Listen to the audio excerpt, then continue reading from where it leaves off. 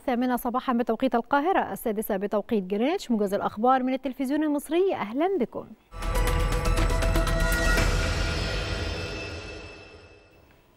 يشارك الرئيس عبد الفتاح السيسي اليوم في القمة العالمية للحكومات بدبي.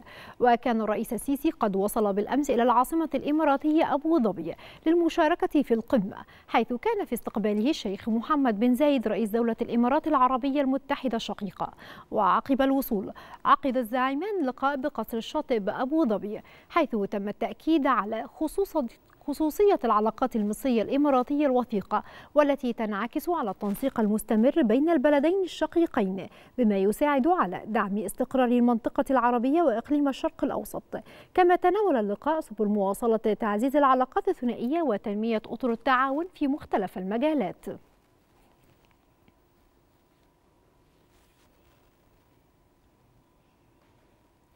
أكد رئيس مجلس الوزراء مصطفى مدبولي وجود توجيهات رئاسية بإحداث نقلة في أعمال تطوير محافظة شمال سيناء.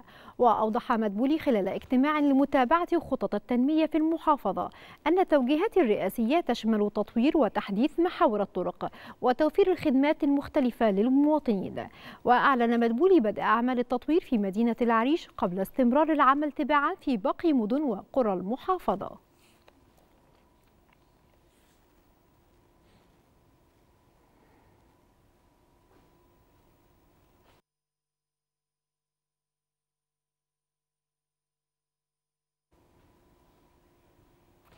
تتواصل اليوم السابع على التوالي عمليات البحث عن ناجين تحت أنقاض المباني التي دمرها الزلزال العنيف في سوريا وتركيا.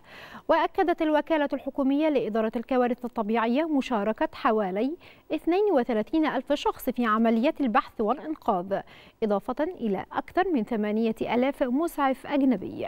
وبحسب آخر التقارير الرسمية أسفر الزلزال الذي بلغت قوته 7.8 درجات عن أكثر من 30 ألف وفاة جنوب تركيا وعن أكثر من خمسة ألاف في سوريا. دعا المبعوث الخاص للأمم المتحدة لسوريا جير بيدرسون إلى تنحية السياسة جانبا والاتحاد لدعم الشعب السوري عقب الزلزال المدمر. وأكد بيدرسون أن المنظومة الإنسانية بالأمم المتحدة ستفعل كل ما يمكن للوصول إلى جميع المحتاجين للدعم. وشدد بيدرسون على الحاجة لإتاحة كل سبل الوصول إلى المتضررين بما في ذلك عبر خطوط النزاع وعبر الحدود.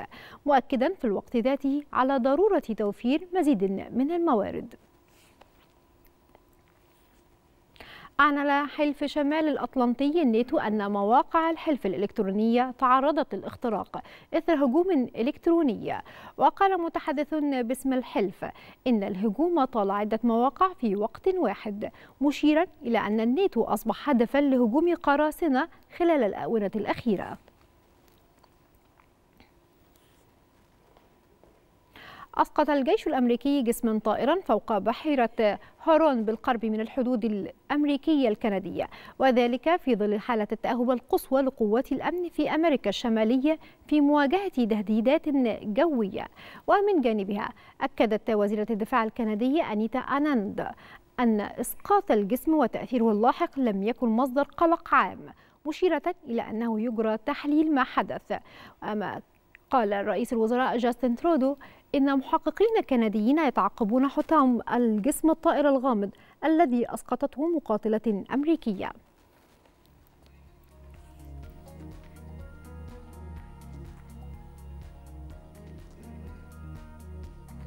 ختام موجة الثامنة فاصل ونعود لحضراتكم استكمال باقي فقرات صباح الخير يا مصر.